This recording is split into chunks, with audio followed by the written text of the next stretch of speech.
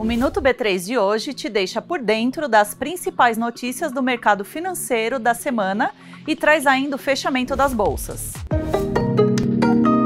A B3 divulgou esta semana os resultados financeiros do segundo trimestre deste ano. Houve crescimento nas receitas de todos os segmentos da companhia. A receita total atingiu 2 bilhões e 700 milhões de reais 10,1% a mais em relação ao mesmo período do ano passado. O lucro líquido recorrente foi de 1 bilhão e 200 milhões de reais, alta de 5% no período. Vamos conferir o fechamento das principais bolsas. O Ibovespa B3 encerrou o pregão com alta de 1,52%, mesmo com o IPCA de julho ter vindo acima do esperado com a aceleração de 0,38%.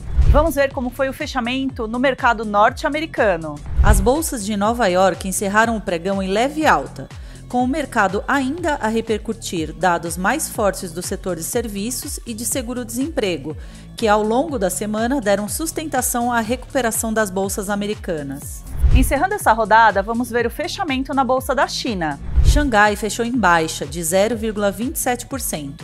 Embora a inflação ao consumidor da China tenha superado as expectativas em julho, em um sinal de fortalecimento da demanda doméstica. Não se esqueça de seguir a B3 em todas as redes sociais. Boa noite, bons negócios e até segunda-feira.